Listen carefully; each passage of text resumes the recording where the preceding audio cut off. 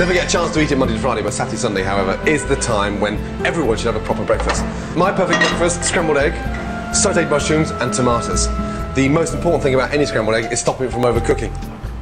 To serve a scrambled egg, flat cap mushrooms, just keep them whole and put them in the pan.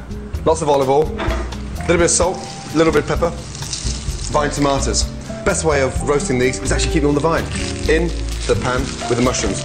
Right, just let those mushrooms and tomatoes sit there in the pan on a low heat and they'll cook themselves. Um, nothing worse than going into a restaurant, having scrambled egg on toast and having soggy toast. This here is a sourdough bread. And the reason why we're going to use it for scrambled egg is because it's strong, robust, and it's got a lovely flavour to it. But be quite generous when you cut it because you don't want this sort of little thin, tight, sort of fisted slice of bread. Nice and thick, chunky bread. Into the toaster. Every time we get a new cook in the kitchen, we always ask them to make scrambled egg. And if they can make the perfect scrambled egg, you know they know how to cook properly. Start off with three eggs. Now, don't season it.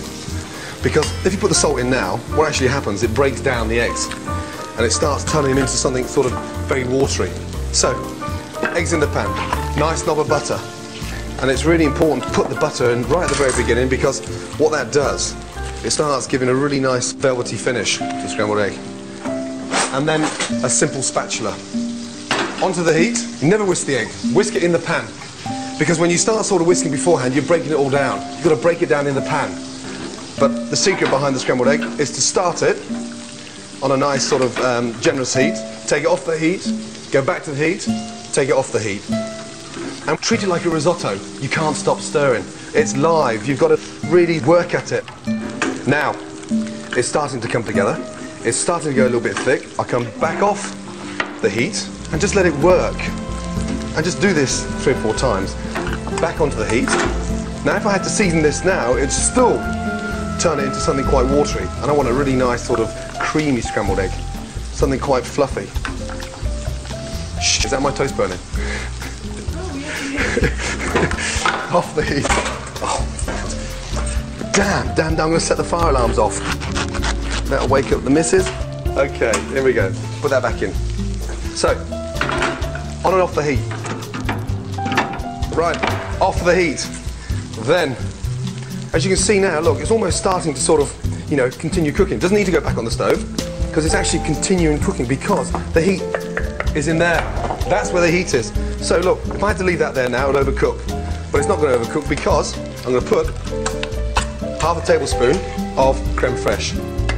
And what that does now just makes it a little bit cooler, brings down the temperature of the eggs. Now I'm going to season it. A little bit of salt, and then it's a little bit of pepper. Just to finish that, I'm just going to put a little touch of chives in there. And what that does, it just lifts the whole flavour of the scrambled egg and just makes it a little bit more sexy. And you know, sometimes you want to be a little bit more extravagant, you can put some smoked salmon in there. I like putting chives in there and just fold those chives in. There we are. The perfect scrambled egg. Okay, to serve it. We're ready to go. On.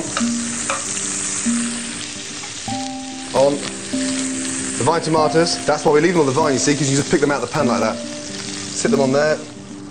I'm just going to drizzle our sourdough bread with a little bit of olive oil in there.